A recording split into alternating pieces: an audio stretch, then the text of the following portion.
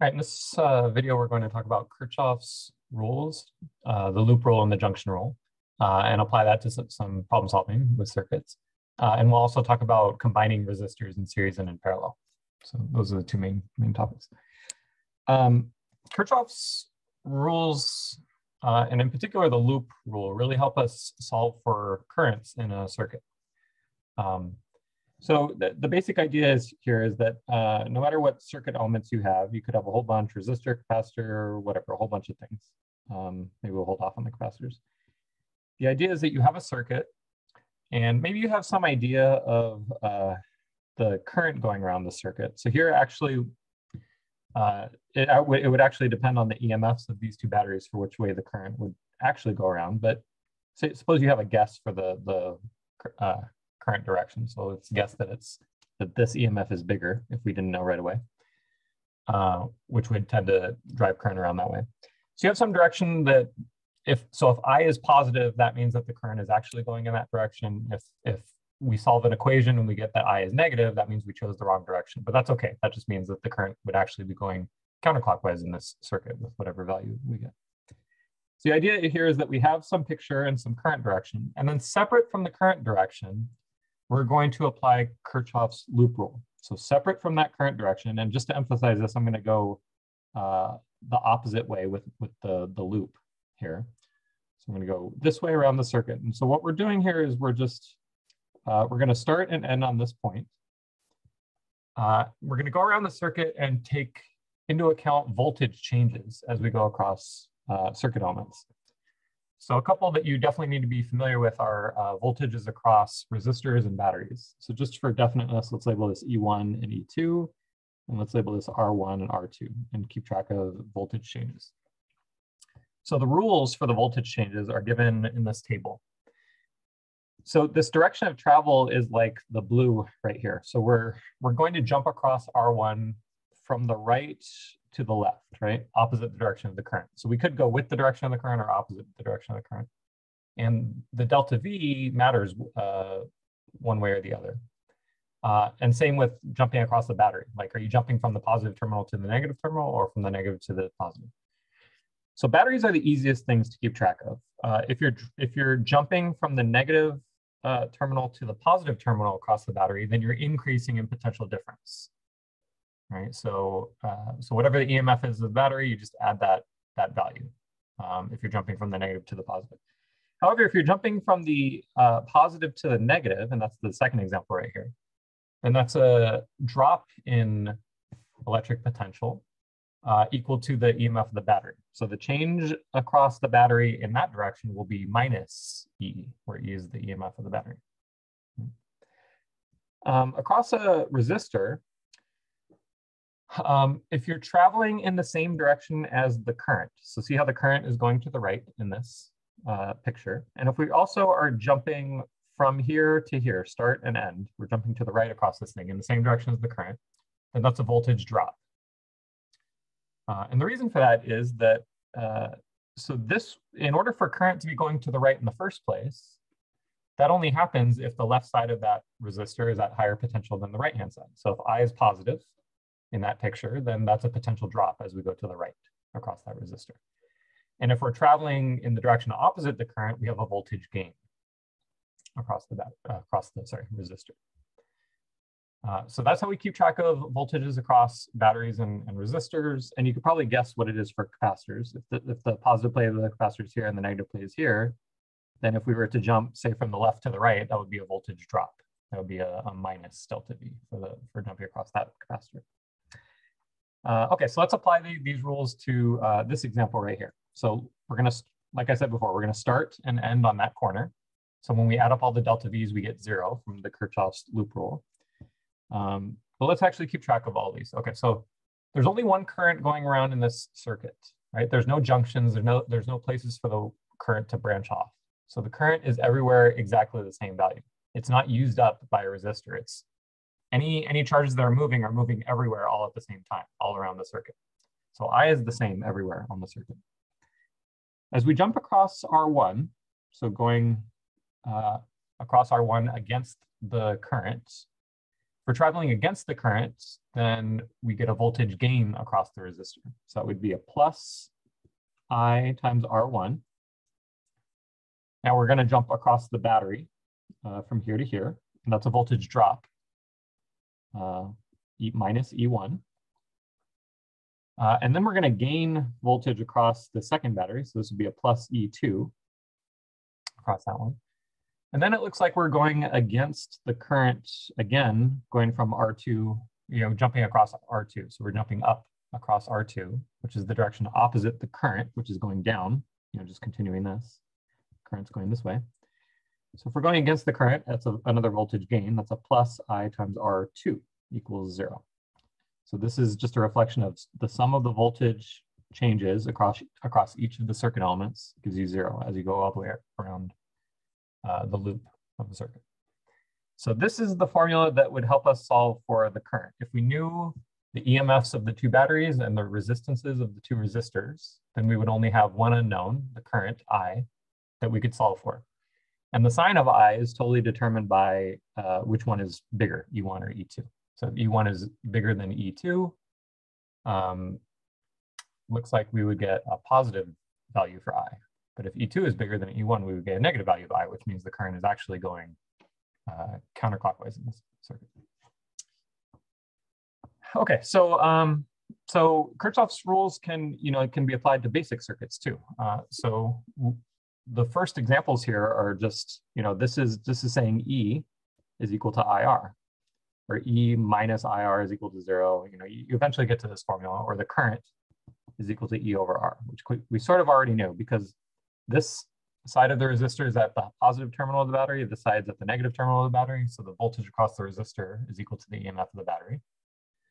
Um, and we know from Ohm's law that V equals IR for that. Uh, so the, the voltage across the resistor would be equal to IR.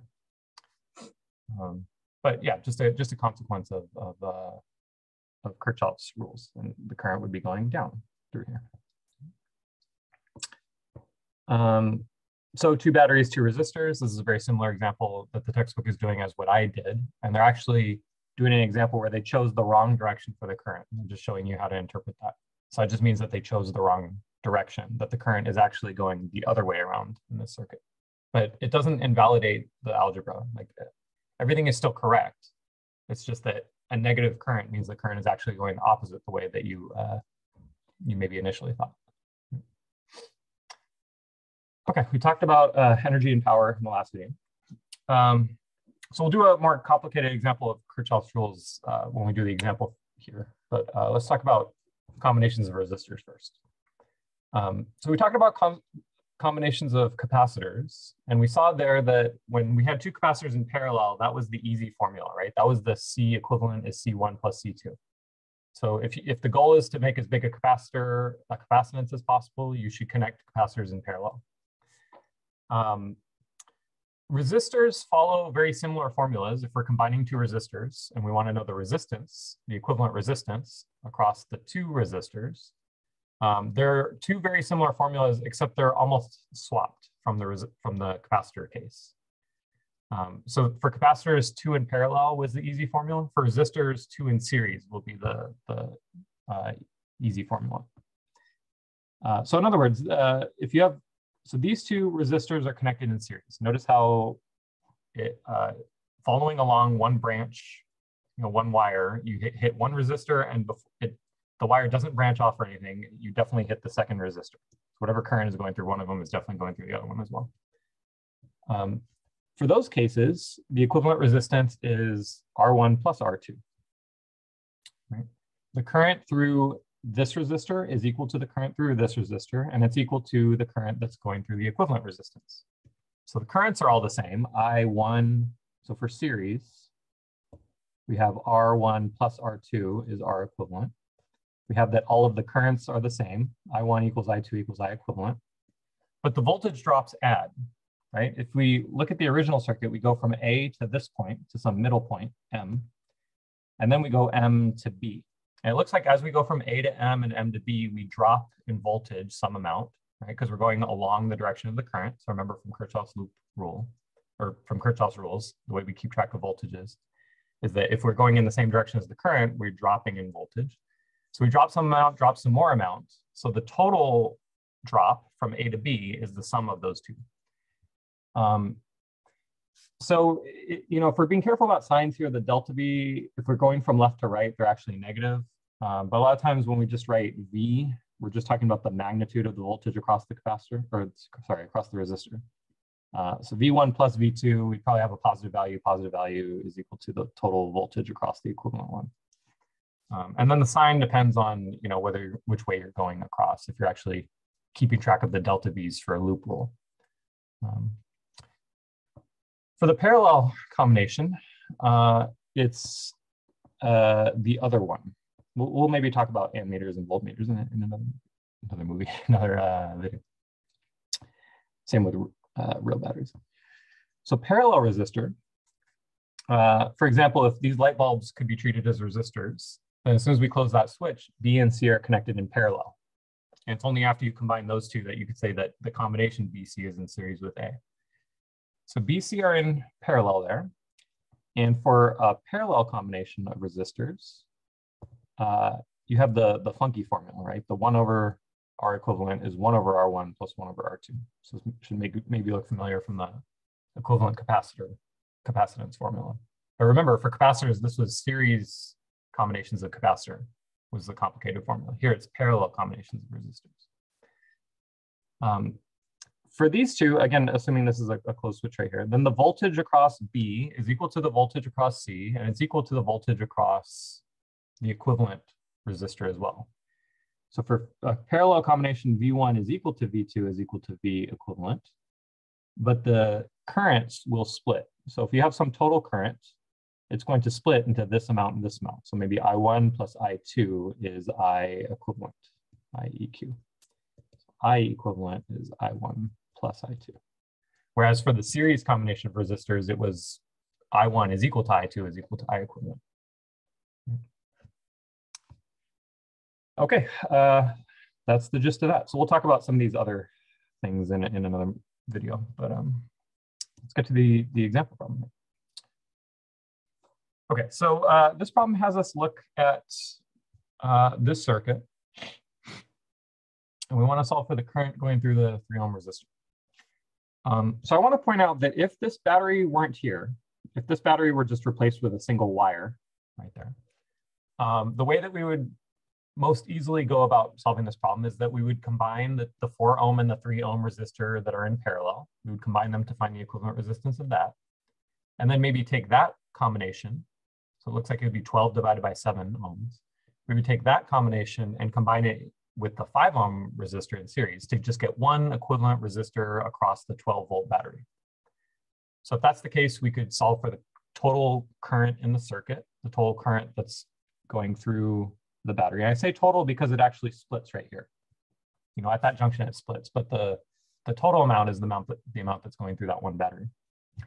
So we would find the, the uh, current first, uh, and then maybe keep track of voltage changes. So then the voltage across this one plus the voltage across this would give you 12 volts in magnitude. Uh, and then you would, so you'd use that info to, to solve for uh, the currents here. That's probably the easiest way to go about doing that one. Uh, the problem that we have though is a little bit more complicated than that because we have a battery right there. And that, that, that three volt battery is messing up the four and the three ohm resistors from being in parallel. They're not in parallel because that battery is messing it up. So in general, if you have more than one battery and they're not connected along the same branch, you kind of have to use Kirchhoff's rules. You have to use more than one loop for a Kirchhoff loop rule. Um, so for the two loops, uh, so, so, first of all, we don't know the current through any of these branches. We do know that there's some total amount that's going to split. So let's just uh, let's say that we have I, I1 through there and I2 through there. So we actually don't, I'm just kind of guessing that this 12 volt battery is controlling the total direction of the current in the circuit. So I'm guessing that this is gonna be the total amount of current and it's uh, some total value. So I'm gonna call it, for now, I'm gonna call it I3, but I'm gonna replace that in just a second. So I'm gonna assume that that current splits into I1 and I2. And that looks a little funny right here because that looks like I2 is going in a direction opposite from what the three volt battery wants it to do. So maybe when we solve all this, we'll get a negative value for I2. who knows? And that would be okay. That just means we chose the wrong direction there. That's fine. Um, so a Kirchhoff junction, so right now there's three unknowns, I1, I2, and I3. Kirchhoff's junction rule is probably is the easier one to implement. And that's probably the one you want to do first, just because it will take our three unknowns and simplify it down to two unknowns. So if we look at this junction right here, looks like the current flowing into that junction equals the current flowing out. Or in other words, I3 has to equal I1 plus I2. I'm just going to replace I3 with I1 plus I2 to take care of that. Now we just have two unknowns, I1 and I2. And so we've already used Kirchhoff's junction rule. So now we need Kirchhoff's loop rule, and actually we're going to apply it to two loops in the circuit. They're actually two independent loops going on. We can get two equations out of this. So for loop one, I'm going to look at the, uh, I'm going to look here. This is going to be my first loop. So this will be loop one. And then for the second loop, uh, we'll do this one right here. We'll just go around just this tiny loop in there. Um, so actually there, there are a few different, there are three different combinations. There are three possibilities for the two sets of loops that you could do. so I'm just looking at the outer perimeter and then the, uh, the small loop.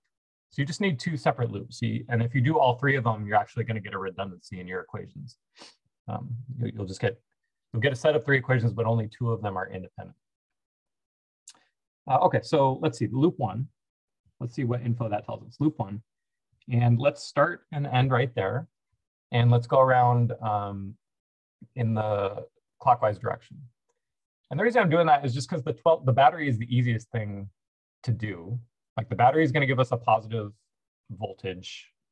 Uh, so that gives us 12 volts right away when we jump across that battery. When we jump across the five ohm resistor, and actually I'm gonna, I'm just gonna say we're gonna use SI units here. So to keep, I, wanted, I just wanna introduce variables here in the equation. I don't wanna try and keep track of units and variables at the same time. So just SI units 12. And it looks like we're doing a voltage drop across the five ohm resistor. So jumping from here to here uh, across the five ohm resistor, uh, we're gonna lose voltage because we're going in the direction of, of the current, I1 plus I2. So we're going to lose uh, V equals IR across the resistor. So I times R is going to be uh, I1 plus I2, that's the I, and then times the R is the 5 ohms. And I'm only writing down variables there. I'm not writing down the ohms or the volts because you know that will clutter up the, the equation a little bit. There's only one other circuit element that we need to jump across, and that is the three ohm resistor. And that looks like that's a voltage drop of uh, minus, so IR, I1 times the resistance of three ohms. And then we're back to where we started from. So the, the sum of all the voltage drop, drops, uh, gains drops is zero. Right? We gain it across the battery and then assuming we chose the right directions for the currents, looks like there's a voltage drop across the other two, those two resistors. So that's loop one. Uh, loop two will give us a different equation. Again, let's start uh, the bottom left corner. So it looks like we're gaining across the battery. So three volts across the battery. And going across the four ohm resistor, we're actually going opposite the direction of the current. So that's a voltage gain of four times I2. Uh, and then we're going the same direction. We're going down across the three ohm resistor. So that's a voltage drop minus three times I1 uh, is equal to zero.